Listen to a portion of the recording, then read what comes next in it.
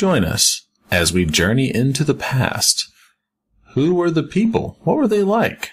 How did they begin and how did they end? Let's find out on the Fan of History, episode 15.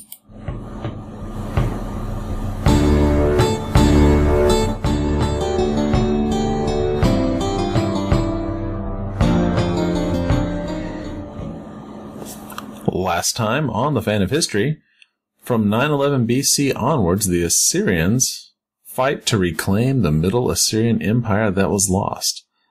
Last time, they invented the cavalry. All right. So, Dan, what is happening next? Well, we have come to the death of Tukulti-Ninurta in 883 BC. But as I said before, Tukulti-Ninurta II, the king of Assyria, the chosen lord of Ashur, he was old when he became king. Right. So he has his grown-up son, and this son, Ashur-Nasir-Pal II, becomes the king of Assyria. Many consider this guy the true founder of the empire, and I can't tell you how excited I am to be talking because he is so fantastic.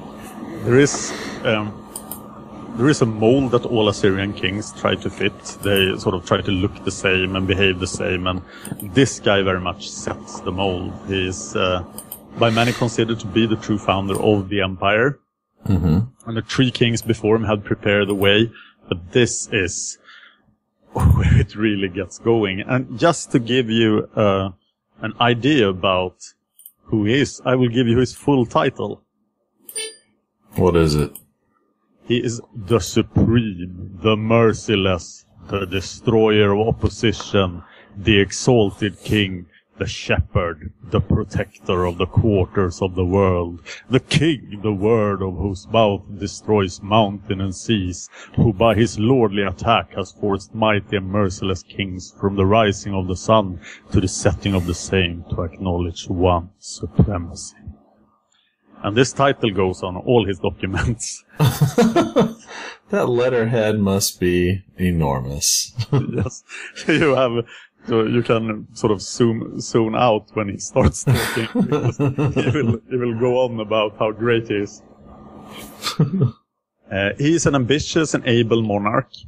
He is a fighter, a hunter, a builder, and a boaster. And uh, but most of all, he is the number one cruel Assyrian king. So when faced with opposition, Ashurnasir-Pal II will become very angry and do horrible things. And we have many atrocities in war today, but few, if any, come to the level of Ashurnasir-Pal II. Wow. We'll talk more about that in two episodes. Okay. uh, when he really gets going. But I think the the thing with his early years, the four years we'll talk about now, is that uh, they are not as well documented. So we just probably don't know the details of his atrocities. But the thing he does when he becomes the king is to immediately attack someone, anyone. And he decides to go up the greater Zab river to the east, up to the Zagros mountain to a place called, place called Kabku. He crushes all opposition, he loots and ravages, and that's all the details we get this far. He puts a victory stele on Mount Equi. He builds a city named Al Ashurnasir-Pal. And this first campaign is, uh, has a second part because he turns to the northeast and uh, receives the tribute of the land Kadmuku. Um, he will campaign 14 times in his full reign, uh, and that's quite a lot. But uh, when he's doing the second campaign of 883 BC, he gets word that uh, the Aramean kings by the Khabur River, who is blocking his goal to control the upper Euphrates, because the Assyrians really want to control the land between the upper Euphrates and the upper Tigris River. That's their heartland of the Middle Assyrian Empire, and they still don't have control of all of this. And now these Arameans are making incursions into Assyria. the Uh-oh. area that the Assyrians actually control. And Ashurnasirpal becomes really angry.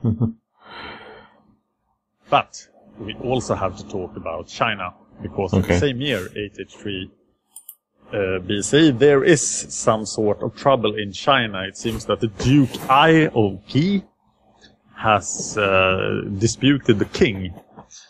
Uh, so there is a there is maybe a civil war, but at least there is a fight between uh, the king who has to side uh, and the Duke Ai of Qi. And the king has to side with the Marquis of Ji, who is a very powerful noble, and together they take down Duke Ai of Qi. And Duke Ai is being boiled to death in a large cauldron for his for this dispute, and Ashurnasirpal would approve. And King Yi installs Duke Ai's younger half-brother Jing on the throne of Qi, and he will be known as the Duke Hu of Qi. So the noble lords are very powerful in Yu China, but uh, for now the king is uh, in control of the lords. That's a that's a lot of violence that happens. I don't know. We've seen Uh, so much. But Ashurnasirpal II is just getting started, like the whole uh, Neo-Assyrian Empire. Still very early. Uh, next year, in 882 BC, Ashurnasirpal is ready to go to war, and now he has his army fully mustered. Uh, he has probably 50,000 guys. As I have mentioned before, the process is that in, in the spring, everybody who is anything in Assyria shows up for the muster and wants to go to war with the king. But not everyone is chosen, so it's a great honor to go on this campaign. 50,000 guys, superior equipment to anybody else nearby. And this year, uh, Ashurnasirpal II goes north along the Tigris into the Nairi lands, like his father. And he actually comes upon a statue that his father put there during his campaigns, uh, just a couple of years earlier, next to a statue of Tiglath-Pileser I, who was the king of the Middle Assyrian Empire.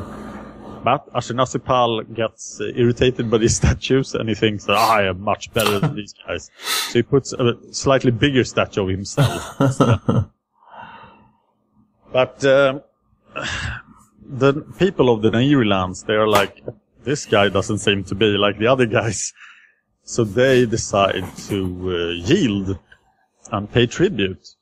So Ashurnasirpal doesn't find anybody to fight. But then there is one guy, Ku- Kulaya, who uh, decides not to pay his tribute. And that's a pretty huge mistake then, because then Ashurnasirpal II has a target. He attacks uh, the city of Kulaya, plunders it and destroys it, and claims another city, Tushka, as an Assyrian colony. So he builds a depot of weapons and stuff there and sets it up as a local headquarter in the north uh, under Assyrian uh, control.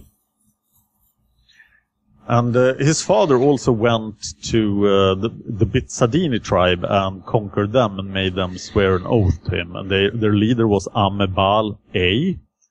And he's still around. He's still the leader of the Bitsadini. And when Ashurnasirpal II shows up, he remembers what happened last time. So he renews his oath and pays tribute to Ashurnasirpal. Uh, and uh, we have to remember Amebal. Then. We will show up later again in the story there are there are like these mini kingdoms in the Nairi land, so they have these random names, and sometimes the na- names never come back. So it's very hard to know where these kingdoms were. But there is a a, a small kingdom called Nairia, and another called, small kingdom called Isala. They all uh, they both swear tribute to or pays tribute and swears fealty to uh, Ashurnasirpal II. So very early in this campaign season, he has won everything in the north that he planned. But remember that those um, the Aramean kings by the Khabur River were giving him problems. They are in North Syria, and it's just south of the mountains. So he he takes a path through the mountains that makes him arrive north of um, these Aramean kings. They, they expected him from the east. Right. And he now comes down from the mountains. About, Surprise! Here I am. Let's do this. wow. and uh, they are surprised by his appearance and this great army. So they immediately decide to give him a lot of gifts and swear loyalty oaths to him. So it's the Arameans, the Neo-Hittite states nearby, they do the same. And the kings of the Kanil Gabat, this is also an area where uh, the Assyrians have huge interests. Uh, they also submit and pay tribute. And everybody says that Ashur is the best god, and Ashurnasirpal is our great overlord, and uh, whoa, whoa, we really like you Assyrians. Thanks that you came this year. And um, Ashurnasirpal makes them swear this really strong oaths, and he's like, if you ever break these oaths, I will be back. And I'll be really mad. They are, okay. we believe you. Yeah, right. It's like, uh, hey, if if you promise not to murder us, we'll, we'll give you all the all these things. Just please don't murder us. But for some reason, they will forget how how frightful he and his army was, and they, some of them will break these oaths, and we'll see what happens then. The, the Neo-Hittites, being the most civilized people uh, nearby, and uh, arguably even more civilized than the Assyrians, they, they carry the heritage of the Great Hittite Empire. They realize that they have something that the other ones don't have, so they decide to get some extra points with Ashurnasirpal. So they give him a tour of the Hittite palaces, the old palaces of the ancient empire. And it shows him a lot of art, and Ashurnasirpal is really impressed with the Mm. Hittite art. So we'll find that in all Assyrian works, uh, after this point, there is a strong Hittite influence. Uh, particularly the, the Lamassu, the, uh, these huge man beasts things. Right. Uh, they, they come from the Hittite uh, culture, but they are very much adopted by Ashurnasirpal II. So he's like, this is great art. I want art like this. Build me art like this. and he, he puts up people in Assyria into looking into building this art. He probably hires a couple of Hittites as well, or gets them as tribute right. to, to create some great art. But he needs to find another target, and now he wants a target that will fight back. And he's still allied. He, um, we don't have details about this, but it seems that Ashurnasirpal II has renewed the oaths of his father with Babylon. So he never ever considers Babylon a target. And he will never go to war with Babylon. And neither will Babylon. So this is, uh, I'll get back to this in a later episode, but it's Okay. really, really good for Babylon. because they don't have anything to put up against this. I was about to say, I don't know. If he's looking for a fight, I don't know if Babylon would be much of a. Very Much true, and, and probably he could get some internal uh, resistance if he went against Babylon. Uh, first, he would be an oathbreaker, and second, to wreck a great culture. And the Assyrians are sensitive about uh, beating up Babylonians and plundering Babylonian cities as well. They think that's uh, sacrilegious. Well, that makes sense. But there are a lot of people that Assyrians don't have any second thoughts about beating up. Some of them are to the east, and it appears that there's an ancient kingdom called Samua in the Zagros Mountains, in like the foothills of the Zagros Mountains, exposed to the wrath of the Assyrians, near the headwaters of the Diyala River. And th- there's city, uh, or there, there is an Assyrian city called Khaleesi. Uh, it has nothing to do with Game of Thrones. I was about to say that sounds. That also sounds very familiar. Uh, and please note that Ashurnasirpal II has a longer title than Daenerys Targaryen. uh, the city Khaleesi is 60 kilometers southeast of Nineveh, and uh, Ashurnasirpal II will use this as the base for the campaign. Uh, like his father, he doesn't use the old capital Ashur as the base for his campaign, but now he moves to a new city. So he makes uh, all the soldiers gather in Khaleesi, and this is very close to um, uh, the Cyprus Mountains. Uh, and um, there is a sheikh, uh, of the land Dagara, close to Samua, also a mini kingdom in the Zagros foothills, called Nur Adad. Very confusing because we had a guy called Nur Adad being beat up by Assyrians just a couple of episodes ago. But uh, there is an inscription saying that Nur Adad had rebelled.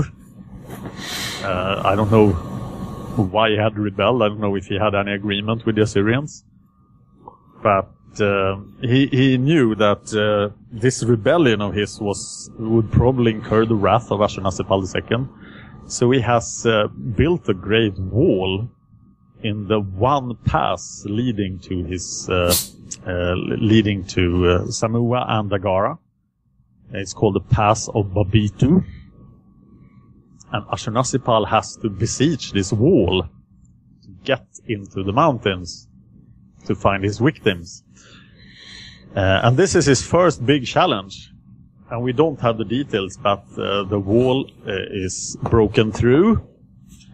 And Ashurnasirpal enters the lands of uh, Samu and Dagara. We only get details like slaughtering and plundering. but uh, it is a total Assyrian victory. And Ashurnasirpal has uh, the idea of uh, finding laborers. He's very interested in finding slave laborers, and particularly skilled ones. So he spares all the skilled workers he finds, but he totally uh, wrecks these kingdoms. So he basically takes all their, um, what you want to call it, intellectual IP. yes, and he also sort of destroys their cities and take their non-intellectual IP as slaves. right. Uh, he actually goes even further to a place called Mount Nisir. This is one of the mountains where Noah's Ark is supposed to have uh, uh, ended up. It's mentioned in the Epic of Gilgamesh. It's probably a mountain that is today called Pir Umar Gudrun. It's about 9,000 feet high. And on this mountain he erects a stele. And this marks the total destruction of the kingdom of Samua. So uh, uh, he builds a new city, or a town rather, called Dur Ashur. And he makes this a local headquarters as well. He puts in weapon depots and an Assyrian governor.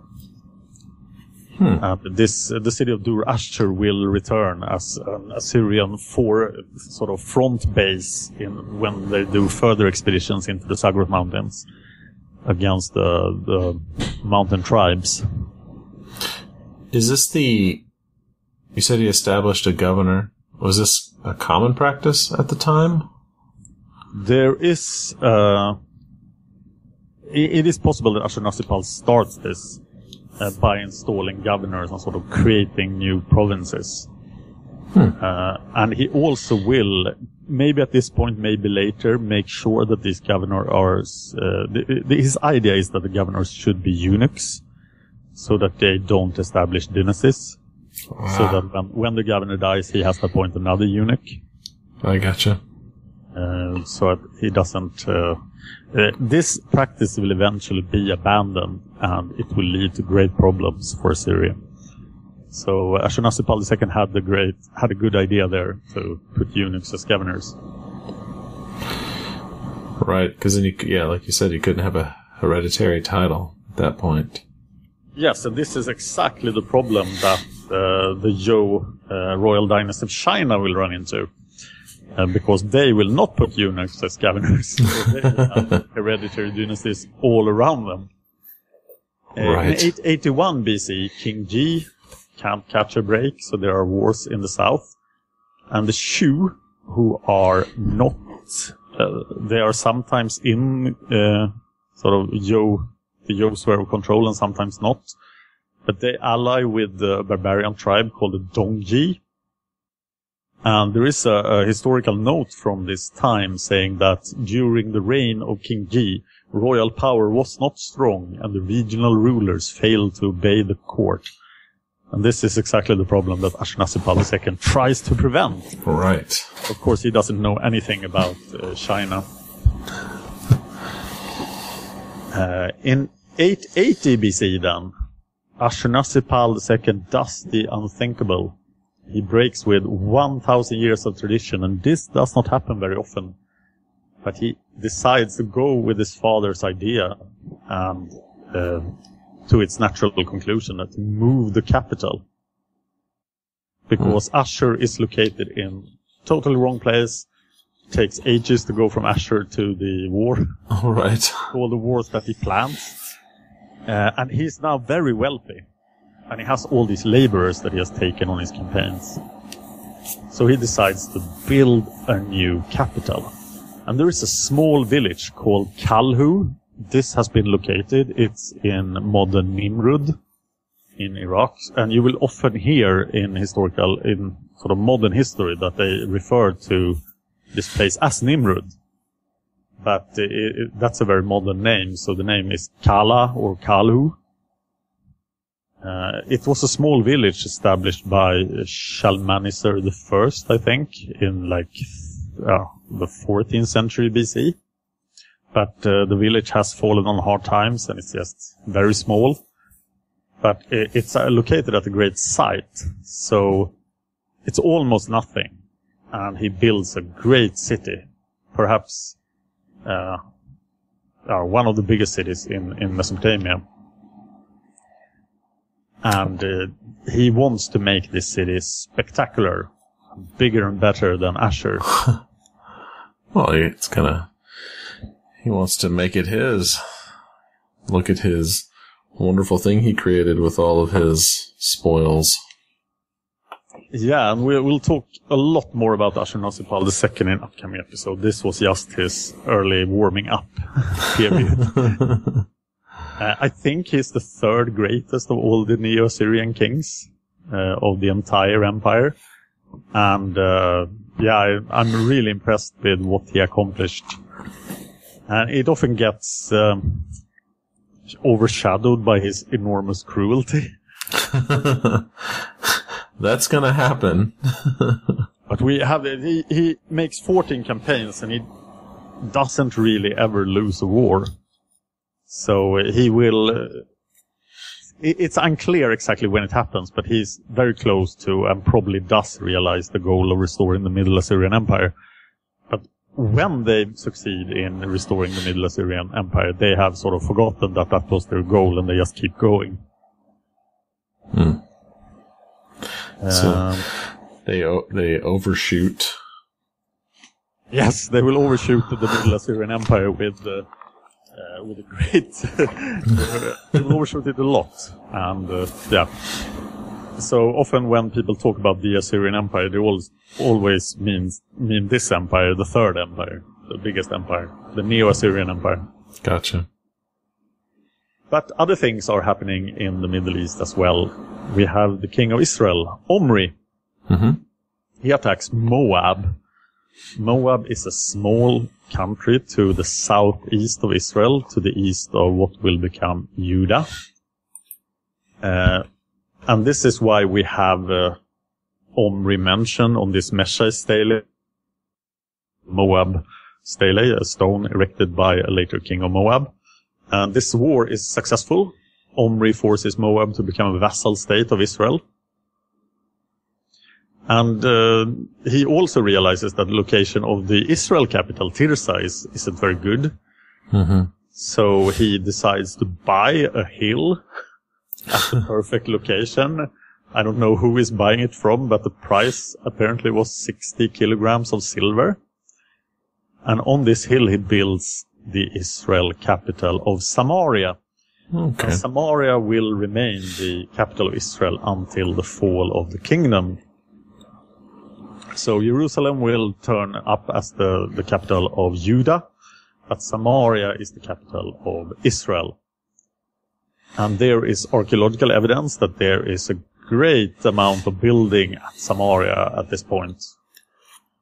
And Samaria is not that far from Tyre and the Phoenicians.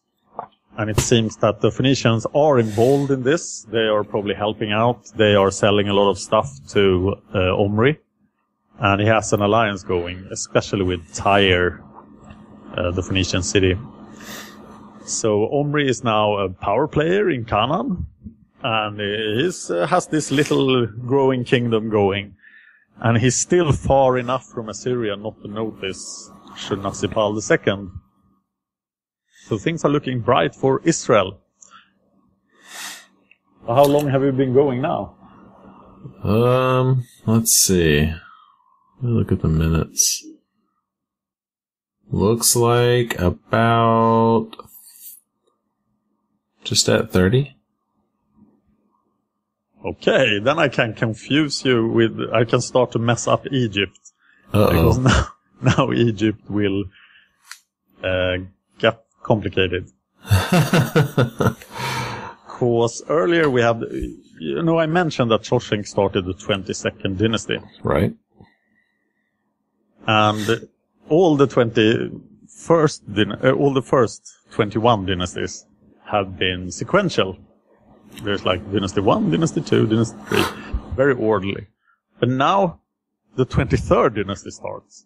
While Okay. the 22nd dynasty will still be going on for uh, 150 years. Wait, That's what? So uh, the 23rd dynasty starts before the 22nd ends? Yes, and there Huh. will even be a 24th dynasty uh, before the 22nd ends. Wow. Okay. So I'll try to explain this, but it is very confusing to me. so I expect it to be confusing to you and the listeners as well. Um, there is uh, a guy called Harsiese A. He's the first pharaoh of the 23rd dynasty. His father was a high priest in Thebes, that is in the south of Egypt, what is Okay. called Upper Egypt, because the Egyptians count uh, they don't think in north and south terms. They think in terms of the Nile. So Right. The upper Nile, because the Nile runs south, uh, runs north to the Mediterranean. And his father was a high priest in Thebes called Shoshenq C. Uh, so Harsiese A uh, does not only become the high priest, but is a full-fledged pharaoh of the south. So apparently the 22nd dynasty has lost control of the south because Takelot I is still the king in the north. Uh, they are all Libyans and they are all related to each other. That's why the names are like Shoshenq. Right. so it's it's even disputed which Libyan belongs to which dynasty. And the 24th dynasty will also be Libyans. It will be messy Wow. and it will be messy for a long time in many episodes. I might skip Egypt earlier than I did in the YouTube show because just so confusing. The 25th dynasty will sort this out and create one Egypt again. But in a sense, it's still it's still one Egypt. It just has several pharaohs at the same time. But there will be a guy called Pi, and he will sort this out for us, hopefully. But that's much later than this. Okay. Wow. That is really confusing. it is, and it will become much worse. Is this? I'm guessing this goes back to the whole issue of the uh, pharaoh ruling in one area, but then the priests or the religious having more power in a different area. It is similar to what happened in the 21st dynasty when Right. the priests were ruling the south. But this is different in that uh, A actually calls himself pharaoh. And he doesn't count the years in the years of Takelot I, but he counts in his own years. Okay. So this is more serious a division than the 21st dynasty. And it's just two generations after Shoshenq, and his great goal was to stop this. so you could say the Shoshenq failed. Right. Okay. And that is finally it for the 880s BCE. And we'll soon get to decades that are much more interesting, or much more, have much more content than this one. That's a that's a lot of stuff to happen just in the 880s. Yes, it's amazing that we know this much for something that happened 2,900 years ago. It is pretty crazy. Well, folks, if you liked this, please consider the Patreon, patreon.com slash fan of history. Also, you can watch episodes on YouTube. There are some, it's a nice visual representation of similar content. Go ahead and like and subscribe there. Also, give us a review on iTunes. This is on iTunes. We're also on Facebook slash fan of history, on Twitter at the fan of history. And if you want to visit the website, it's thefanofhistory.wordpress.com. And am, uh, uh, that's, uh huh. I'm having, uh, I'm thinking a lot about YouTube and this podcast, and I Sure. think this podcast is perhaps a better way to convey this information. YouTube is, uh, yeah, you, you don't really need to be visual. I think people have an easier time listening to this than to sort of follow 100% attention a YouTube show. But I will be hopefully experimenting a bit on YouTube, and uh, this might sort of decide the direction we're taking this podcast in in uh, uh, next year. hmm So please check out the YouTube and tell me what you like and don't like there. Uh, we are right now. I'm looking into. I, we are recording this in early May 2015, and right now I'm looking into uh, having another person create another show on YouTube and having me just as a narrator. Uh, and not not doing the research and stuff because that's what takes a lot of time. So we we may be starting another series on the YouTube channel starting in 200,000 BC. So it's, 200,000? yeah, we thought that 880 BC. That's sort of like yesterday. It's very modern history. So we decided to go even further back. Wow. Yeah, that's a real long time. Yeah. So hopefully there is something on YouTube about that at, when you listen to this. Excellent. We have one more thing before we go. Nope, that's it, folks. Thanks for listening. No, no, no. We have one more thing. We have to play Assyrian or Babylonian. Oh my god. Okay. Yeah, I get to I get to prove what I don't know to all the nice folks listening. Well, uh, you haven't done very well at this. I have I have done Time is your terribly. Favorite subject: Oh yeah? women. Well, I do have a lot of sisters, so maybe that has prepared me for this episode. Kind of Egyptian. Uh, but we are talking Assyrian or Babylonians. I will give you five names of Five names. famous women. Okay. You will have to tell me if they are Assyrian or Babylonian. Okay. I will do my best. Okay, here's the first one. Semiramis. Sim Semiramis? Semiramis. Hmm. Semiramis. I'm going to go Semiramis. That sounds familiar, but I don't know why it would be familiar. Queen, I'm guessing. Uh, that's very likely, yes. Yes, she's queen. Mentioned by none other than Julius Caesar in his writing. Huh. Well, Julius gonna- Caesar did not know, uh, wasn't very good at Mesopotamian history. all right. I'm going to say Assyrian.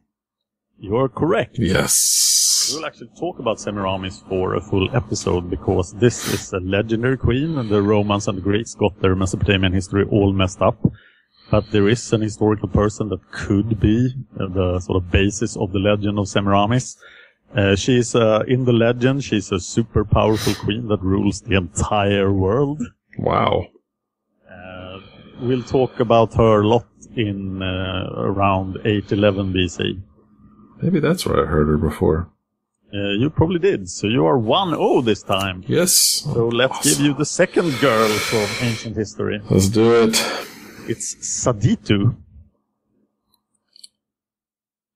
Saditu? Saditu.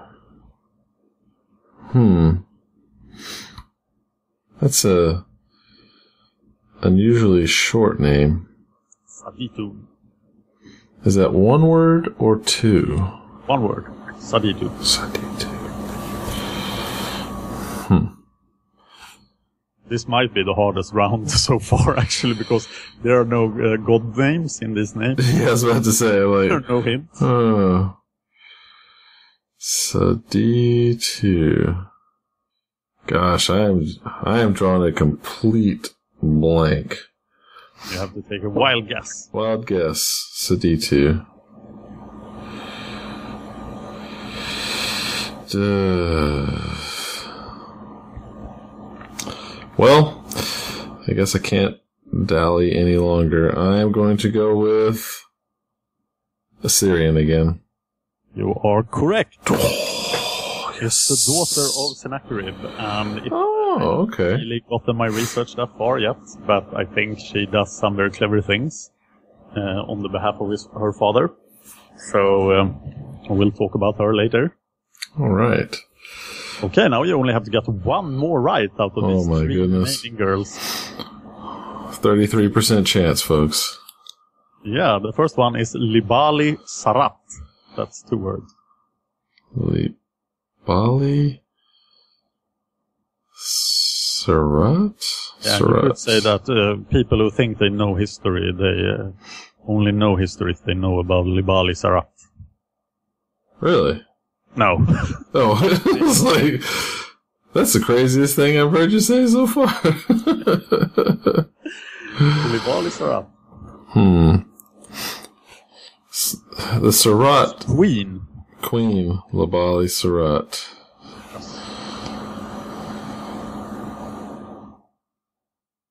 Wow.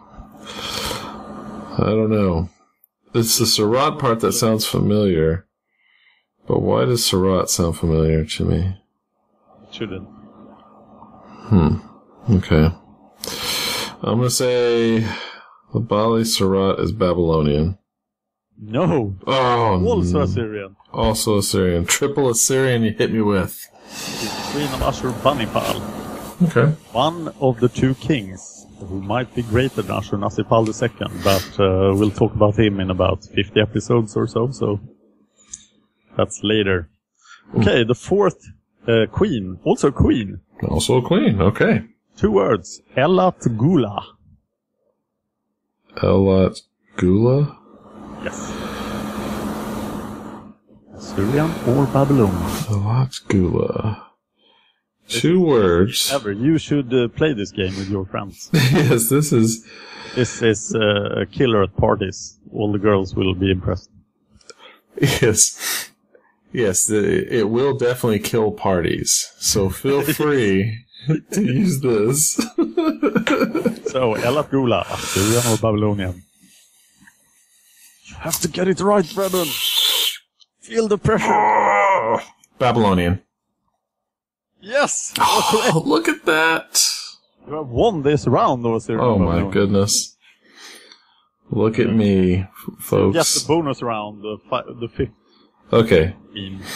fifth one. Actually, Saditu wasn't a queen, but uh, Oh, uh, Okay. Belat Sunat. Belat Sunat? Yeah. I'm not making these names up.